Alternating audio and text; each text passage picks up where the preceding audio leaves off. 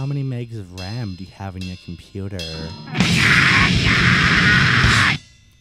Hey, why don't you check out my website at www. I was looking at the Star Trek website and I, um. Let me fax you my email address.